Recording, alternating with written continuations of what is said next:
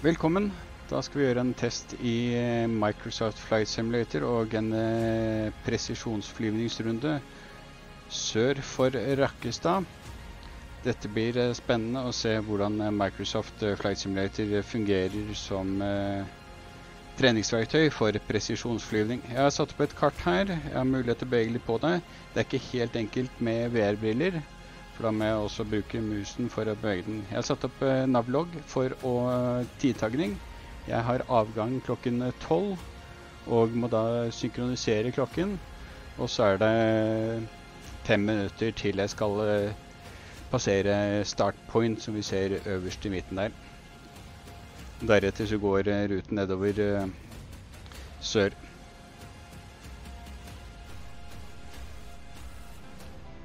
Dette fungerer åpenbart uh, utrolig godt. Uh, overraskende. Uh, har hatt noen hiccups med at flysimulatoren har hengt seg litt.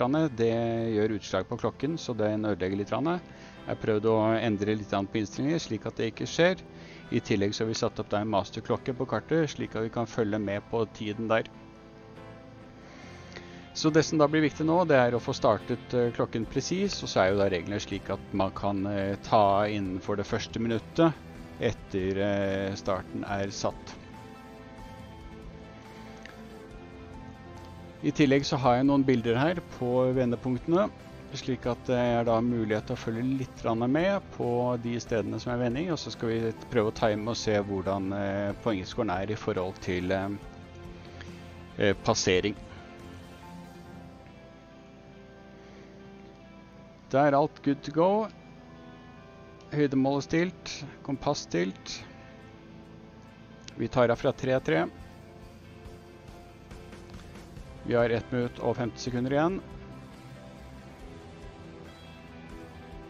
Og så håper vi også at trekkingen er med oss hele veien. Jeg flyr da en Pipstel Virus som eh, kommer med den høyeste utgaven av eh, flysimulatoren. Dette er også det flyet da, som nærmest er eh, Pipistrell Alfa-traineren, som jeg flyr til vanlig.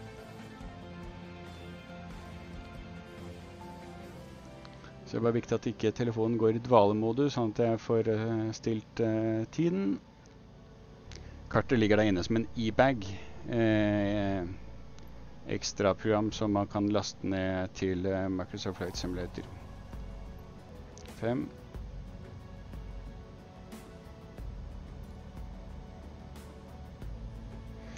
ble Ganske bra. Da har vi da ett minutt til avgang. Eller vi skal ta innen et minutt. Breaks off. Runway free. Høyre pedal. Full gass. Airspeed alive.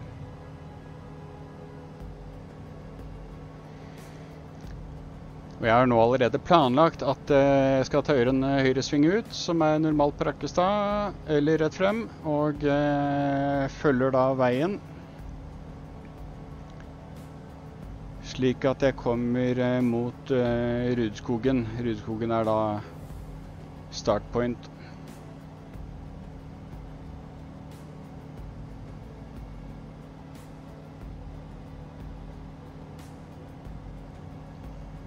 Der har vi veien.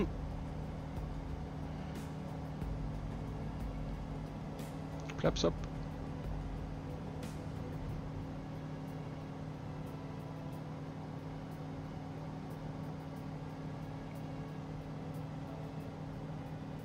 Der har vi flyplassen.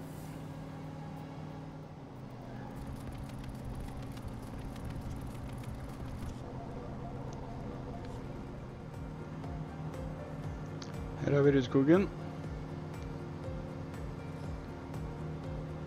Så nå er det viktig å ikke passere startpoint.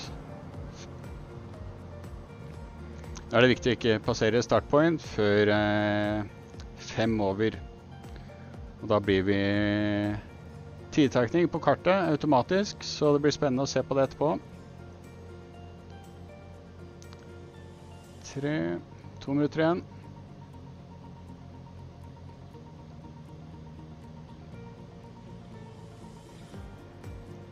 Første kurs er da 225. Og så lenge jeg ligger her, så gjør det ikke noe med backtracker. Reglene er slik at jeg ikke får lov til å svinge mer enn 90 grader på track. Men eh, det starter da først når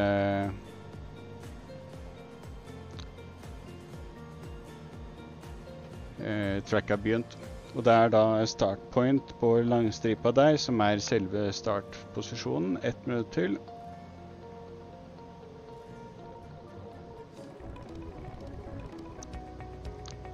Tretti sekunder.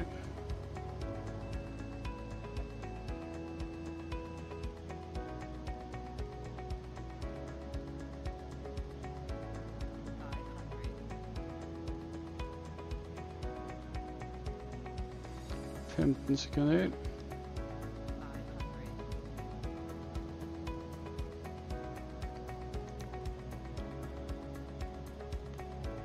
Der.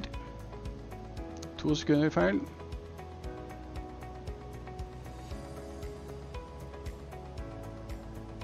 Og 225. Da har vi kurskirka her. Mype litt. 30 sekunder skal vi passere veien her.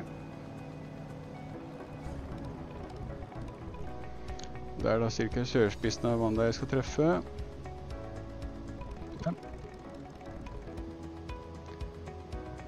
Jeg skal da sikte til en bro.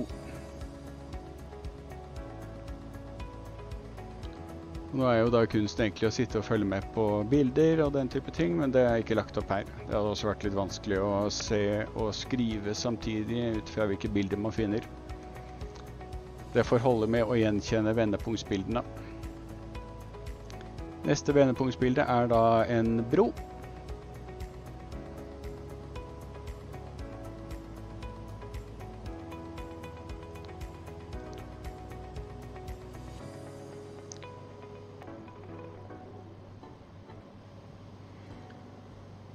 Skal krysse veien her på ja, ca. 7-10 kanskje.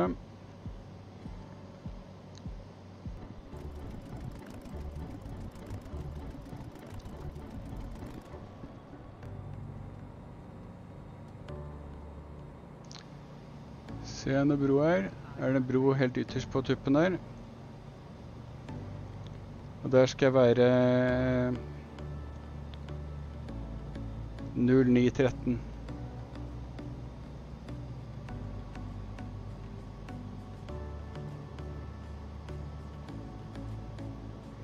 Jeg legger meg litt til høyre for den, slik at vi har mulighet til å følge med på og se når passering skjer. Nå ligger vi altfor tidlig ute, tror jeg. Der har vi broen. Da er det bare å sette opp flapsen og slappe av. 20 sekunder. 0913, ja. 10 sekunder.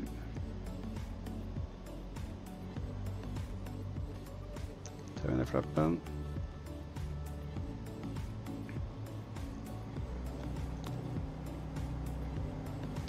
Det ble et par sekunder feil der. Og så har jeg tegnet opp at jeg skal svinge til venstre som prostyresving. Når det er eh, trekket endrer seg over eh, 90 grader, så er det da prostyresving. Det er da en eh, sirkling på cirka, eller skal være ett minutt som er beregningen da at den skal være. Så jeg skal da ut fra prostyresvingen eh, 10.13. Neste trekk er 132.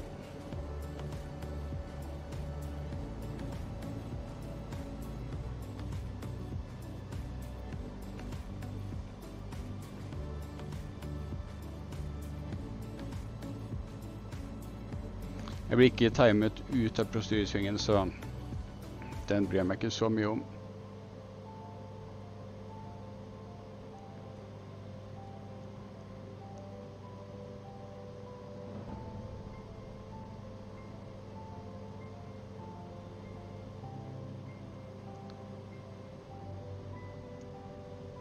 To trettito. Skal vi prøve å justere kartet litt her.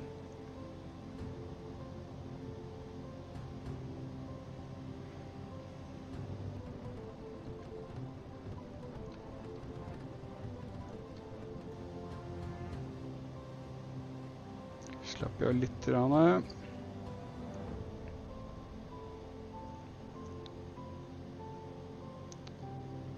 Skal være her på ca. 11 20-ish.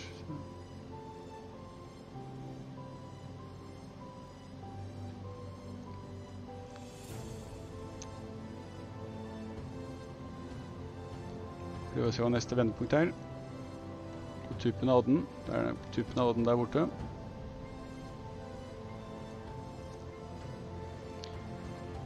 Og der skal vi være 1239.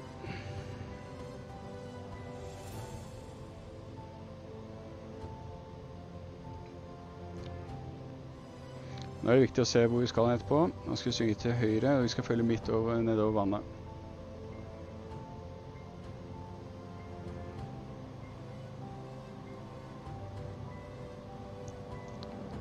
Tolv trettini.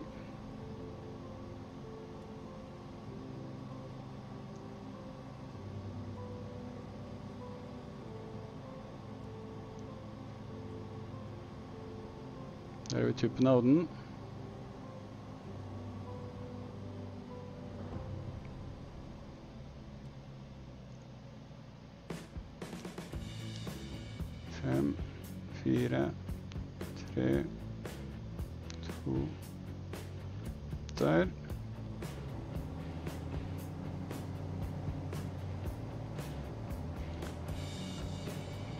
Vi følge vannet.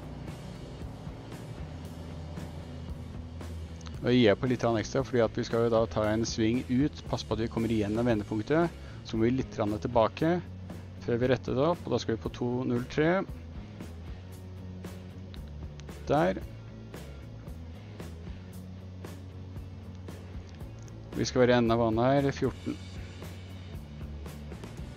Det er faktisk gjenskinn av sola, så jeg blir blendet her.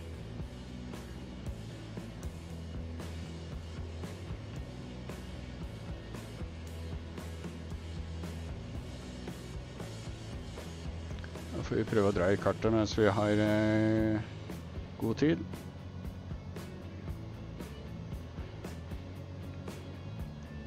Da er det 14 som skal være i her. Vi sa 203.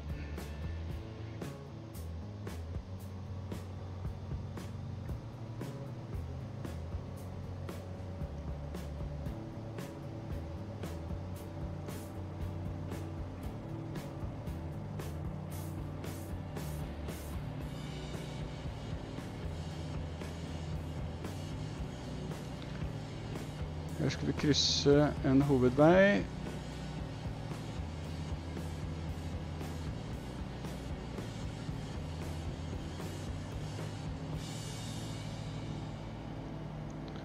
Og så skal jeg få en liten vei på min side. Vi skal sikte på fjorden der nede, litt på høyre side. Ligger vi fint nå.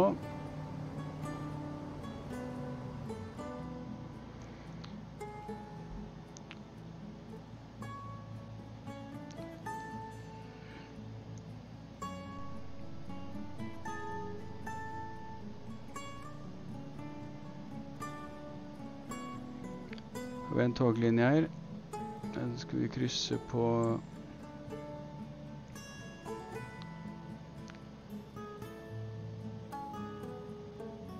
Femten tjue cirka.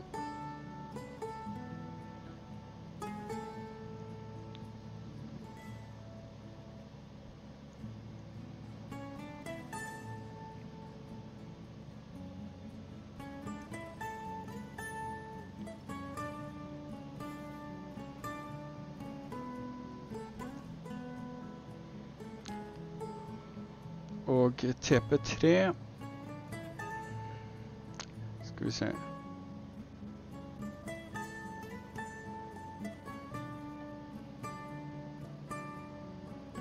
Det er et stort veikryss.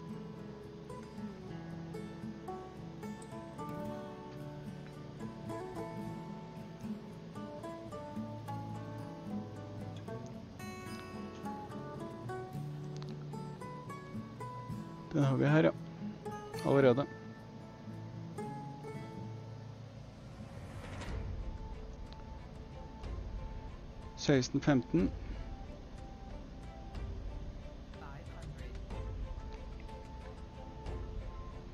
Den ble bra.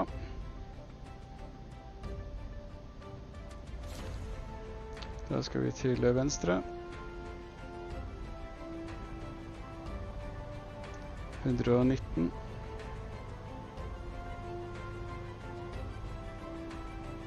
Litt tilbake. Rett opp.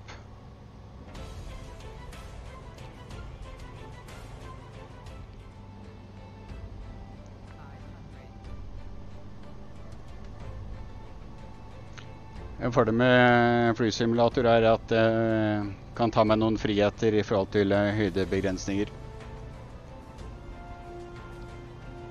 Men det er jo fascinerende at den eh, sier ifra når jeg passerer under 500 fot.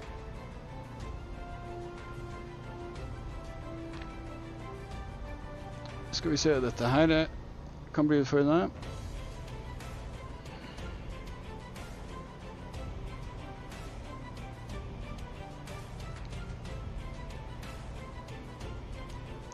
Nå skal vi over et eh, bra skogsparti her.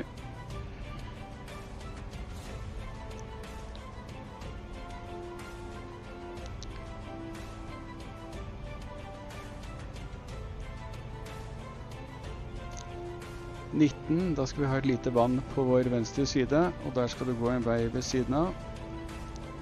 Da har vi kommet oss litt for langt sør.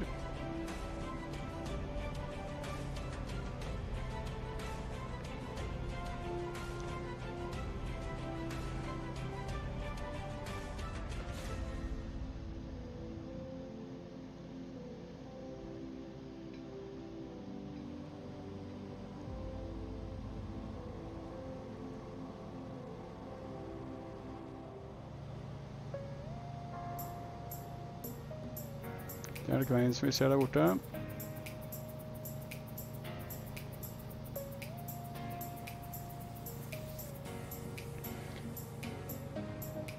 Lite referansepunkter der, altså, foruten at det er noe hus på den. Ser bitte lite vann jeg ser en bekk.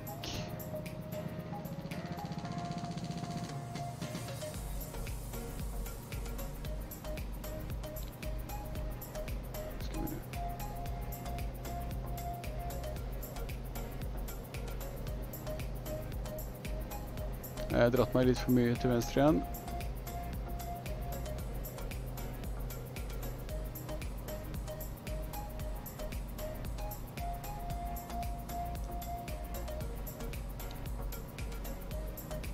«22» passerte en vei til. Drar meg litt for lenge mye til venstre hele tiden, altså.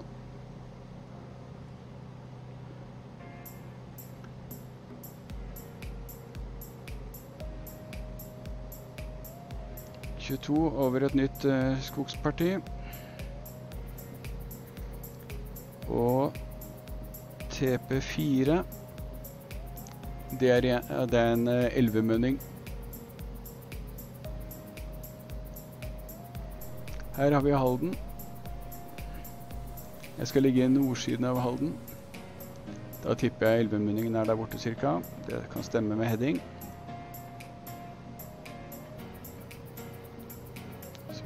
Fort. Da tar vi av litt Jeg skal passere en stor vei. Her kommer den store veien.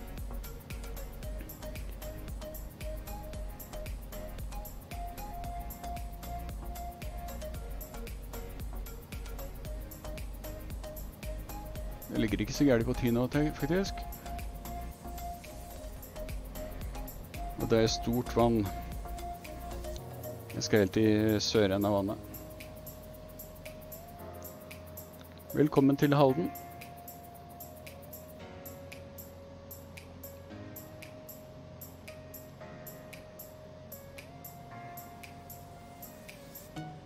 Har jeg noe klare å få noen gode på 24? Nei, jeg gjør ikke det.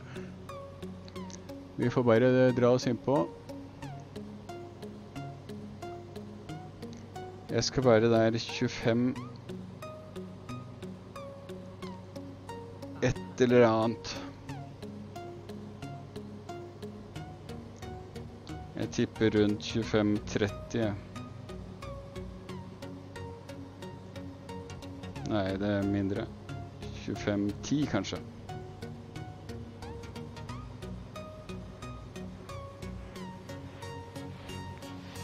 Elvemunning helt ytterst. Skal vi se på bildet. Helt ytterst. Skal vi til industrifelt? Der har vi industrifeltet.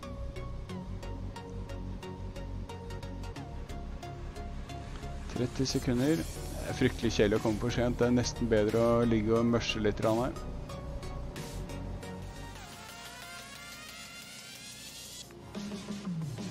«20 sekunder. Vi på litt igjen.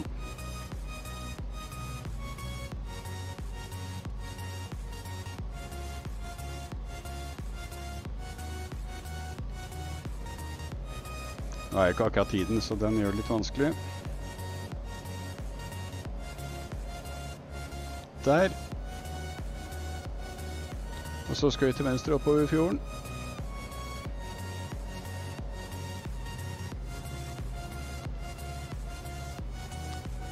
Litt tilbake.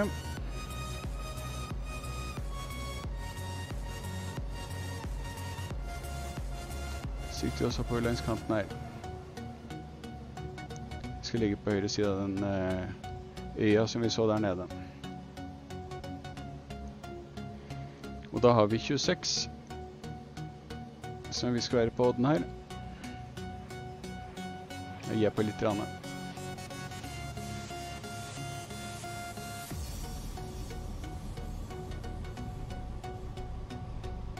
Ja, skyggen.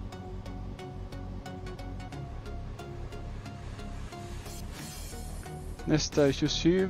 Det er enden av en eller annen liten øy her fremme. Å se på headingen nå. Det stemmer bra. Vi skal ligge på høyre side av den lille øya. Jeg tipper det er den der.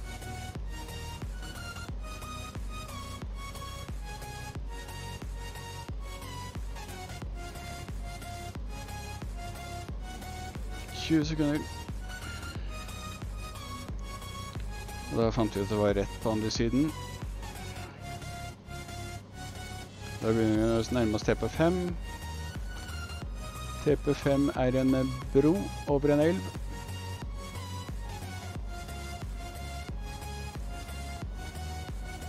Heading 29.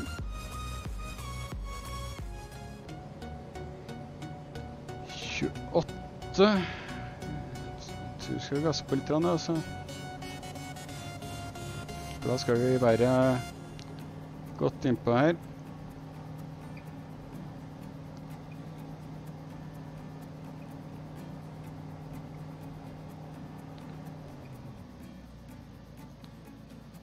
Der er broen.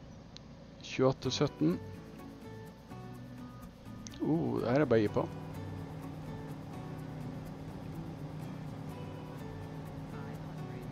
Der kommer vi for sent ut.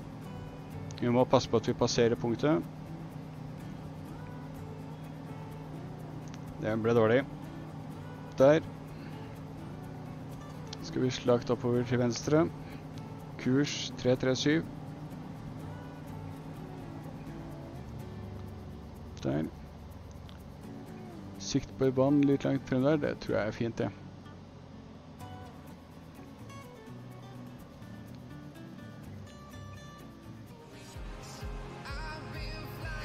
Tretti.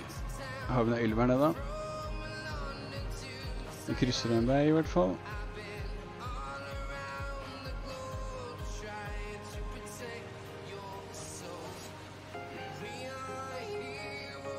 Jeg tror vi sikter inn på neste punkt, det som er 31, eh, 13 et eller annet.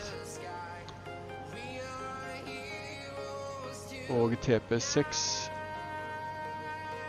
Det er odden i vannet. Den, eh, vi ser husene på midten til venstre der, det store. Og så er det det grønne odden som stikker ut der, som det er eh, TP6. Og det var 31 13-ish. Eller 15.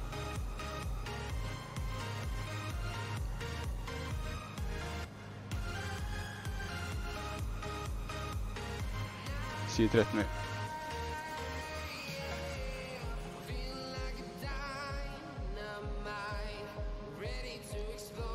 Der ser vi den grønne odden.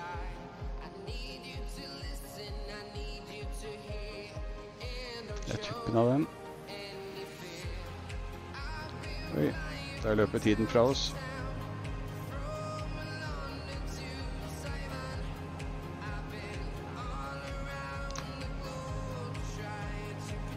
Igjen henge etter, altså det var dumt.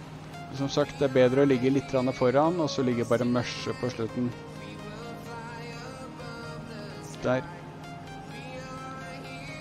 Prostyresving til høyre.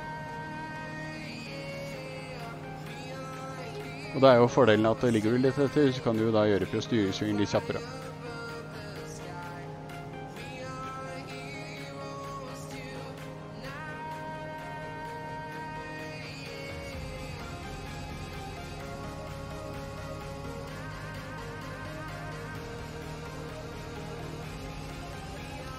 Ser vi vannet der borte, det er det som er ved 35 der.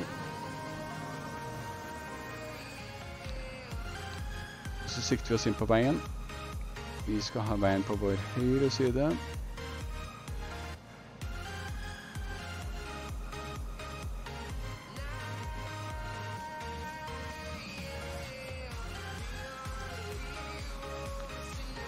Vi Vi skal være ved veikrysset der 34.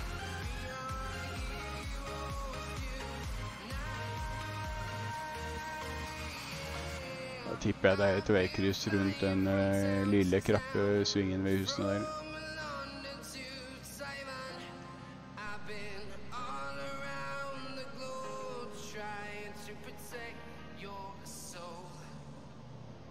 Ja, det er få andre referansepunkter her, så vi holder oss til den.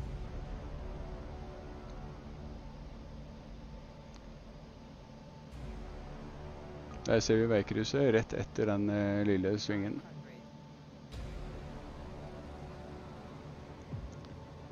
Skal være litt før den på 34. Ja, det ble en kjapp uh, prostyresving i stad. Eh, 20 sekunder for tidlig cirka.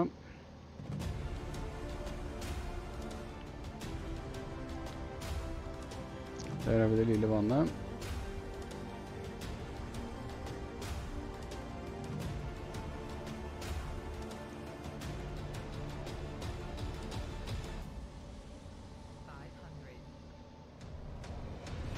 TP7. Det er veikryss der nede. Der skriver jeg 3619.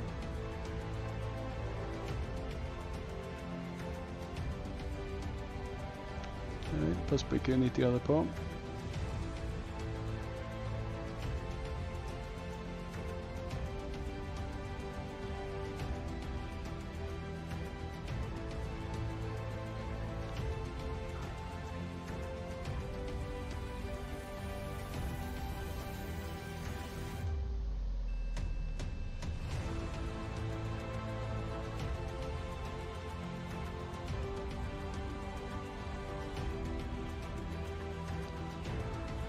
Sånn, cirka. Litt tidlig.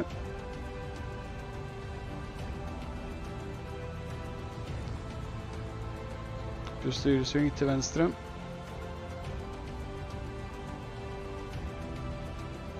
Vi litt hastighet.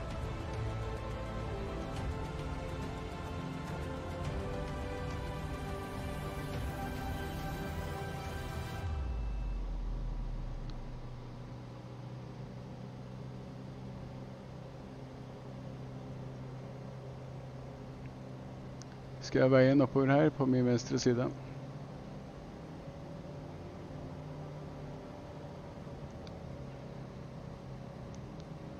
Så 20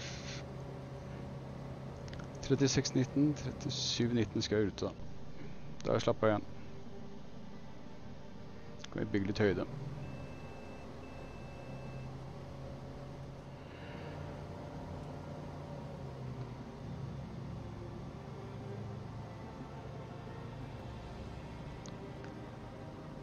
Ligger røftlig kant i kant med vannet her. sikt oss inn på midten.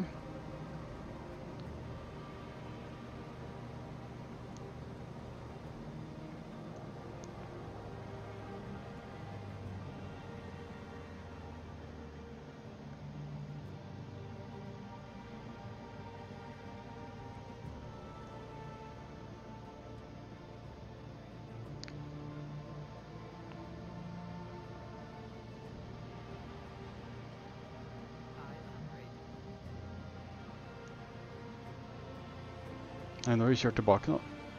Godt dem, altså. Det er jo feil vann.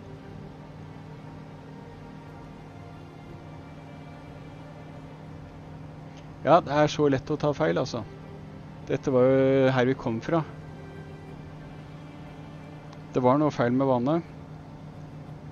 Vi skulle jo ha denne utstikkeren.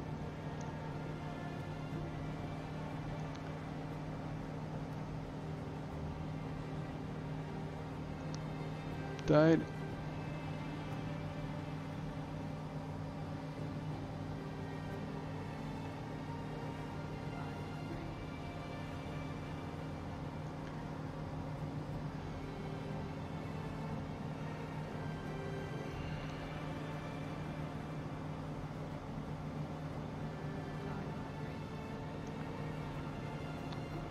Skal vi se Der har vi veien til vannet. Nå ligger vannet her.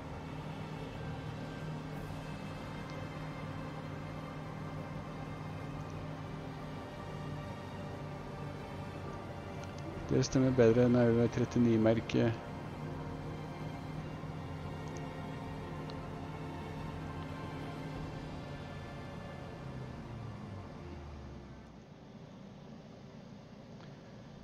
Og dette er TP8, TP8, TP8, TP8. Det skal være midt på. Det er her, det. Og det er det i enden. Det skal være 40-15.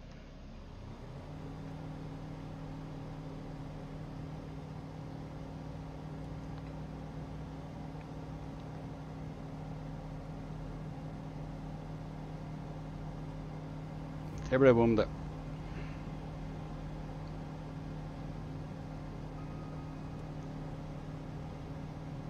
Så kommer vi flagg til høy venstre. Oh, neste kurs. 58.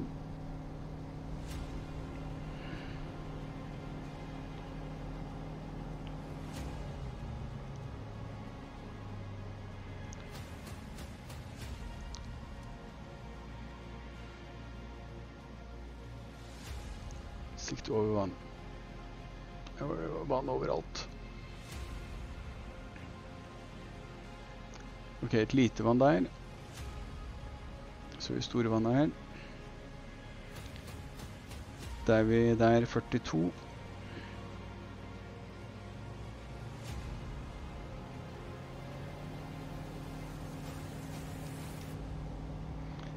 Null femtifem, femtiåtte.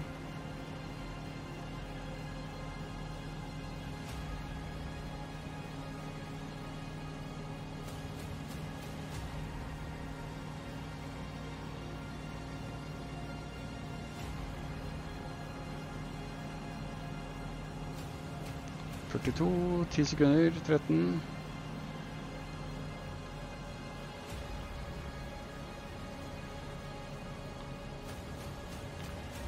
Sikte synd mot vannet der borte, tenker jeg. Ser nesten ut som vi skal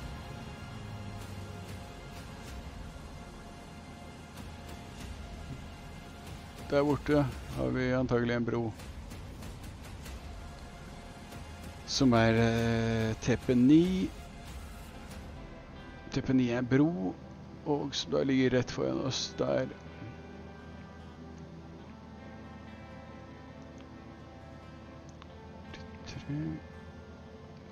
Nå har vi kjørt fort her. Der har vi broen. Det skal være 44-10. Ett minutt til. Ja, det ser ikke så gærent ut, dette her.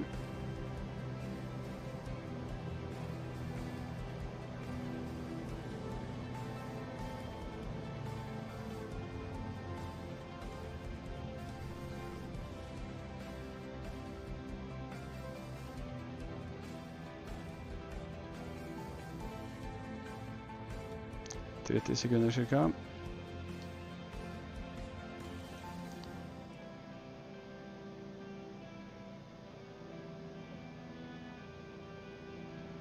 Sideslipper vi tar med, sånn at vi får bedre oversikt. 20 sekunder.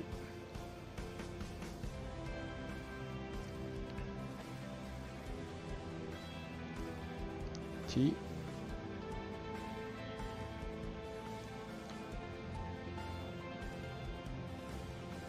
Syv, åtte, ni og ti. Der. Den tror jeg ble ganske bra i hvert fall. Så skal vi til venstre.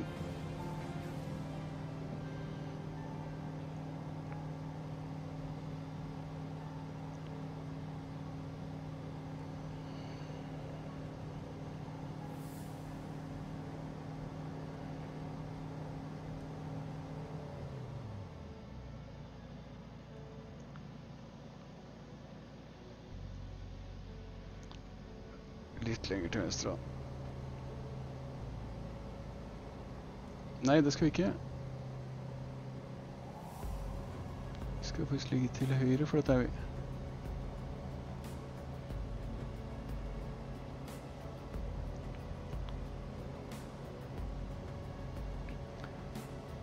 Kurs eh, 3 4 4 Der cirka. Ro ned.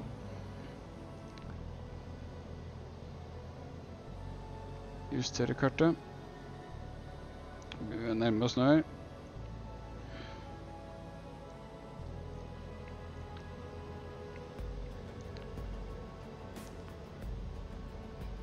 Skulle gjerne likt å se den elven.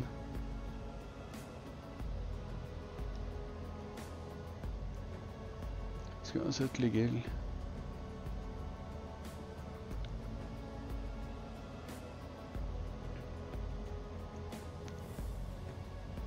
Ser vi vannet der oppe. Så har vi lite vann her. Til vi skal passere de to rett på venstre side.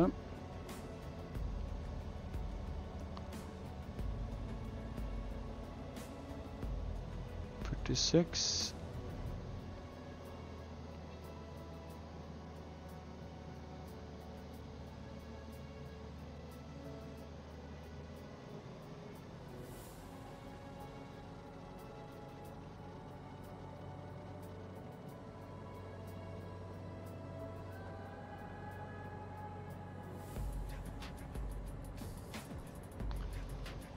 Og eh, TP10 Enda litt vann.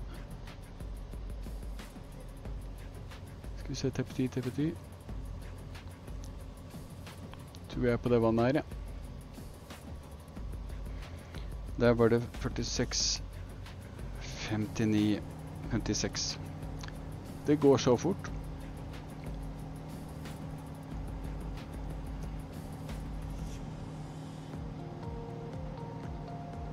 Da ble vi 20 sekunder feil der også, gitt. Svinger til høyre.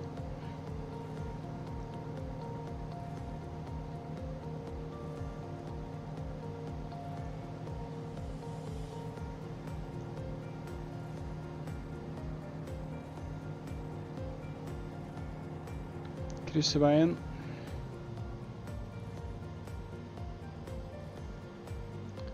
Ser vi buen på veien her?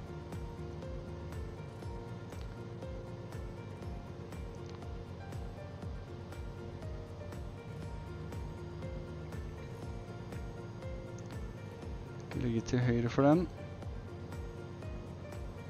Jeg Tror jeg skal ligge enda litt lenger til høyre.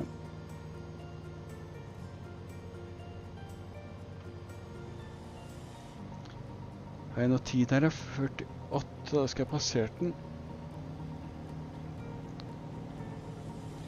Jeg skal ha passert den lille veien der òg. Og det er TP11. 11. Det er en odde som stikker ut. Det er et hus og en eh, U-sving på veien som stikker ut. Det er litt lettere å gjøre dette som to stykker, fordi da kan man hjelpe hverandre med å fortelle hverandre hva man eventuelt skal se etter. Ny vei.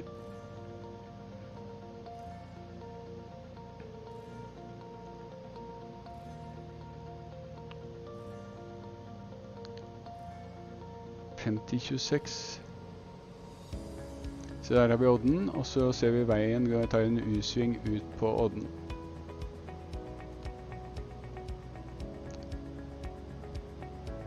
Der skal det også være et lite hus, som vi da skal sikte oss inn på. Jeg sa 50-26, under et minutt til. Der ser vi akkurat i U-svingen ute på odden der, så er det et hus eh, til venstre av spissen av eh, svingen. 30 sekunder. Sirkus.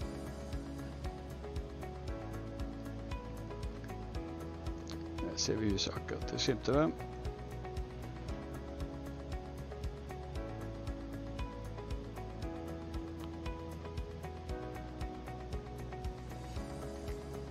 Tjueseks. Ti sekunder.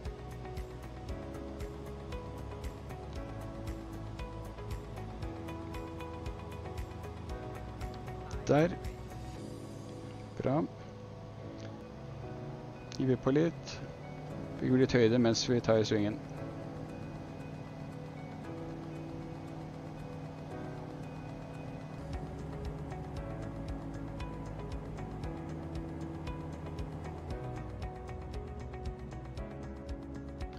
Kurs er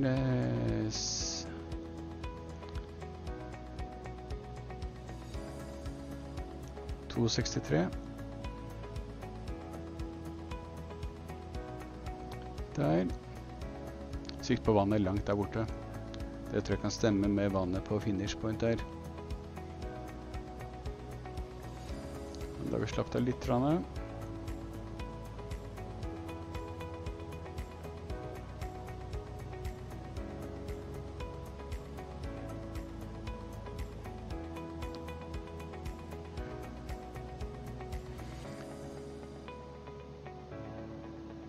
Møte en vei der på 53.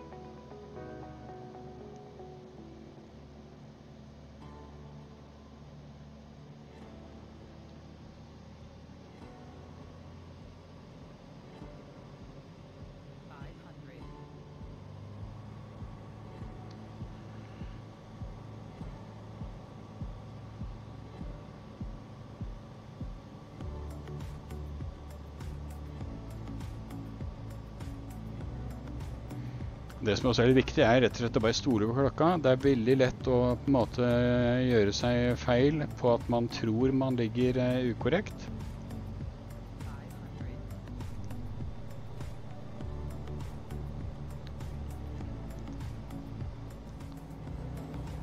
Femtifire.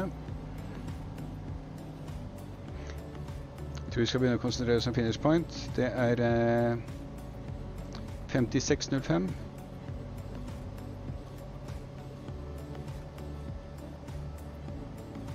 Og finish point er en liten øy.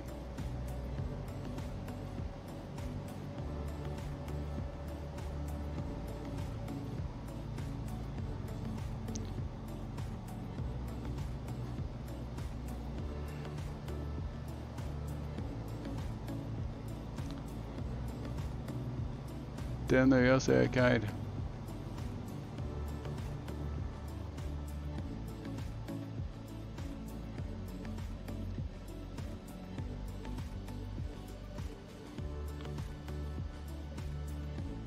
Ok, da må vi prøve å bruke andre referanser. Odden.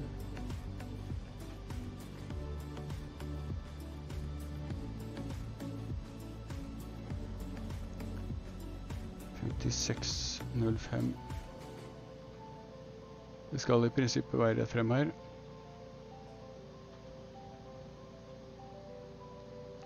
Så der har vi eh, en utfordring. Den øya er ikke synlig her.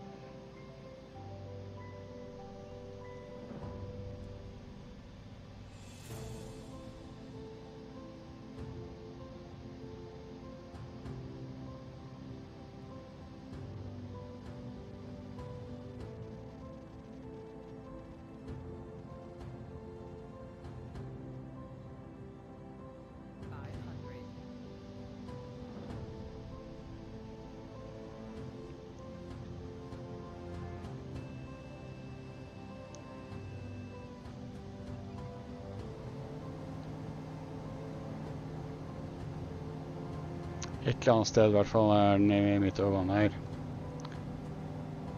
Ser ut som ganske midt i. Så.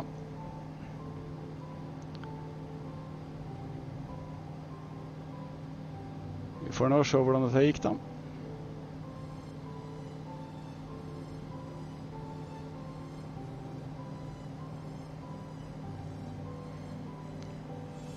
Da drar vi sørover. Nordover. Tilbake til Rakstad. Eh, summa summarum. Én grov feil. Fløy tilbake i samme retning som jeg kom den ene gangen. Vet du hva, den feilen tror jeg kunne gjort i virkeligheten også, så jeg skal ikke skylde på flysimulatoren der. Eh, øya på eh, siste finish point var dog litt vanskelig å se, for den var faktisk ikke med på simulatoren. Men resten har egentlig vært upåklagelig og stemt ganske bra med bildene. Så dette her var gøy. Dette her eh, ga mersmak, og eh, dette er jo fantastisk verktøy for å trene til eh, presisjonsflyvning. Man kan også trene ANR. Og så ser vi på flere typer konkurranser som man da kan ta med og trene til. Så sånn som i dag, når det laver ned med snø ute, så er det jo eh, perfekt å sitte i flyet og trene.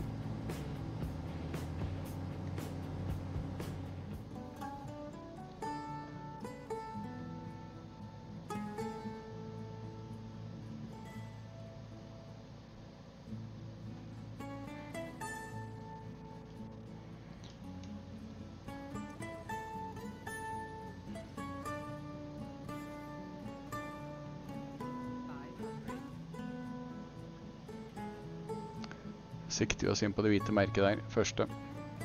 Her har vi Rakkestad.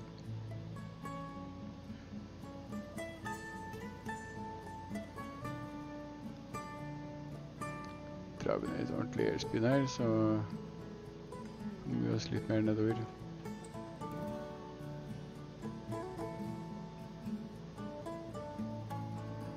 Gjør litt sånn forsiktig seilslipp også.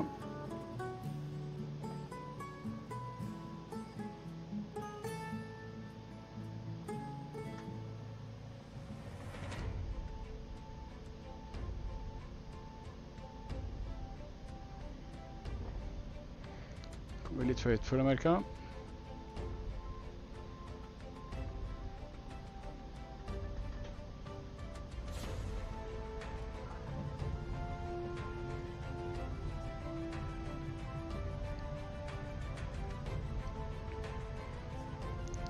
Voilà! Da er vi ferdig. Moro.